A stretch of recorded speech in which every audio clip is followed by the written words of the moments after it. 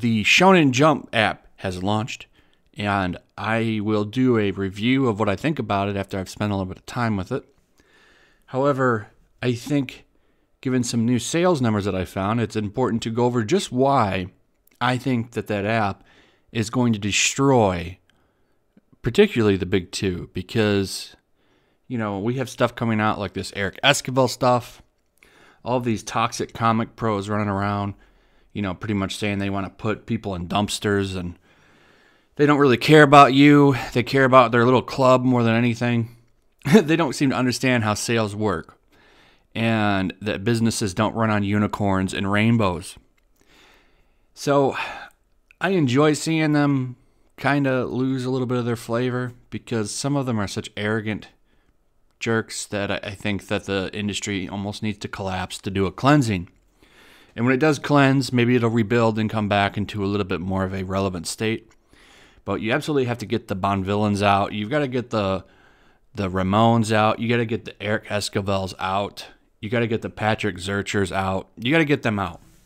Bring in some people that care, like Sean Gordon Murphy, other people. And we're gonna see. I'm gonna bring up Sean Gordon Murphy in a minute.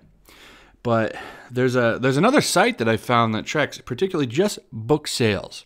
They don't look at floppies, none of that stuff. And they had some interesting stuff that I wanted to show. So the first one I have here. So this is a chart of 20 adult graphic novels. Now this includes everything. Kids books, comic books like graphic superheroes, and the important thing, manga. Now when you look at this, you are going to see you're going to see some image comics like here's Saga, right? And I don't know who Harper is. So I don't know if To Kill a Mockingbird, I'm going to guess that's an American book. That's what I'm separating here. I'm separating by Japanese and American because those are the two kind of biggest ones. You see, Viz Media is just dominating this entire chart, right? Now, I've highlighted three books here three books that I consider to be the mainstream. Like I don't consider Chilling Adventures of Sabrina a uh, mainstream like comic, right? Or saga. Like, maybe it is because it's so high up, but I'm looking particularly at well-known superhero books. I don't know why I, I shouldn't have I shouldn't have highlighted The Walking Dead then, but it's there. What do you notice though on this chart that I've highlighted? There's only two books that are superheroes, and they're both Batman. The rest of the top 20 is mostly manga. You're right at the top. Um, the Adventure Zone. Here there be Gerblins. I don't know. That's I'm guessing that's a kid's book. But what's right underneath that? My Hero Academia Volume One. Pretty much has become like the Walking Dead of manga trade paperbacks. I unfortunately can't look at the actual sales numbers. You actually have to pay a membership for that. I think maybe I will. Like, uh, in this instance, this is one of the things that my Patreon is for. So I'm going to sign up for this uh, website that tracks numbers. Maybe we can have a little bit more of a reliable thing because this is what they say we need to look at. So then you look at My Hero Academia. My Hero Academia is just dominating this list. But what's the one top 10 book you see? Batman White Knight by Sean Gordon Murphy. Someone actually cares. That's actually the top. It's in the top 10. And then right at the bottom, you've got Tom King's Batman Volume 7 Rebirth. Other than that, it's all One Piece and and uh, and manga in general. You get a couple image comics that slide in there here and there, and that's it. That's it. Uh, one thing that I liked was the uh, the time that I got reincarnated as Yamcha. Dragon Ball, new stuff from Dragon Ball always makes this list. For sure, because it's it's Dragon Ball. But one thing that I found particularly interesting about this is, you know, they say pirating is damaging everything, but I, I think that these sales charts prove otherwise. I wish I could see the actual numbers, and next time I will, because I'm going to sign up for this website. But the uh, the pirating is hurting things but it shows that people will still support the actual medium. These aren't digital sales. However, the digital sales for Shonen Jump are about to take over digital altogether. There's no way that Marvel and DC can compete with that app unless they make drastic changes. Drastic changes. But I think people still want the actual physical trade paperbacks, and you see that reflected here in these charts. Now, I've got one more chart. Now, this is actually just looking at superhero graphic novels, right? That's it. That's all this chart looks at. And I missed one right here, Black Panther, so I'll go ahead and highlight that. Um, all this looks at is American superheroes. And there's one thing that I want you to notice here. All of it is pretty much DC Comics. DC Comics actually cares a little bit more than Marvel. Marvel's kind of trash right now. I think that that's something we can all agree on that Marvel sucks. And the people that work there suck. You got people like Tom Brevoort and Alanna Smith that uh, I don't know. I think they drink all day or something. Not sure what they do. But uh, if you look at this, so what's at the top? Batman White Knight, Batman Volume 7. And then you go to number four, you finally get a Marvel comic. Right. What is it? It's old. Infinity Gauntlet. That's what's up there. Then you go to Watchmen. I mean, that's always going to be up there. People actually use that in college courses. Overwatch, which shouldn't be surprised, it's a huge game. V for Vendetta, Dark Nights Metal, Black Panther book number one. So you finally get there. Now, I don't really count the Star Wars stuff. I guess you could if you really wanted me to.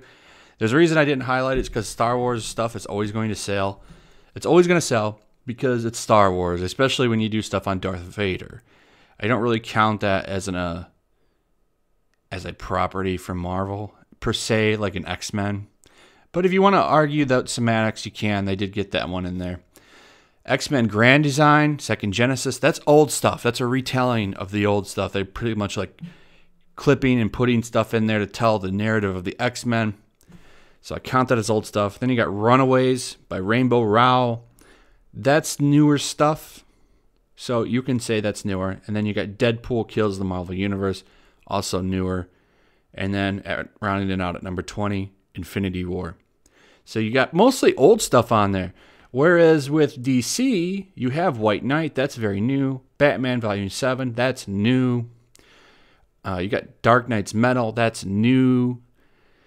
Killing Joke will always be on there. But then you come to Justice League Volume 1 by Scott Snyder. That's very new. Very new.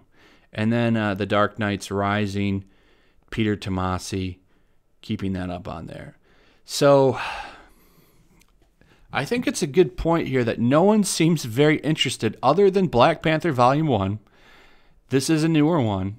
I, I hear that that's a decent run. I, I don't have any interest in the character, and I refuse to support Ta-Nehisi Coates for the nasty things that he said about America and 9/11. So I, I, will never support that man. Anything that he, I put a I put a hard line on Ta-Nehisi Coates. I won't support him. Uh, he's like one of two artists that I will never I will never touch. But the significant thing here is that Marvel barely cracks this list with very few titles, except mostly old stuff, minus one book.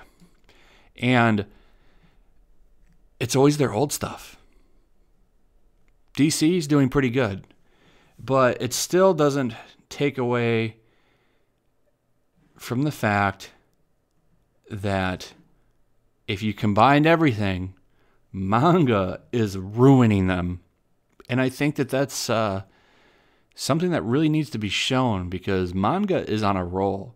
And if it continues like this, they will retake everything. You'll uh, stop seeing Spider Man uh, impersonators when, when you go to New York City trying to hug you for that dollar.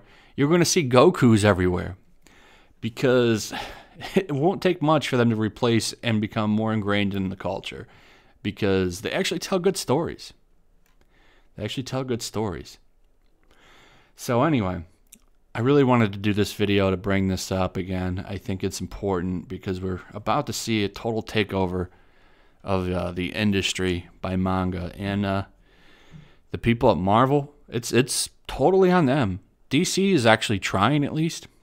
They don't have as many idiots as Marvel has, but it's a symbiotic relationship between Marvel and DC. They need each other if Marvel's doing bad, it's going to hurt the overall market. So It is what it is, I guess. Anyway, let me know what you thought about this video. What do you think about the manga taking over? I kind of asked the same things. Got some really good comments when I did that Shonen Jump video.